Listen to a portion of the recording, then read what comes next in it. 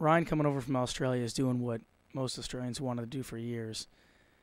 You know, just come out and be a top contest rider, as well as just a shredder at pretty much any park he rides. Super consistent, super nice guy. He's taking contests right now to a different level, showing people how to put together a complete run and still have fun doing it.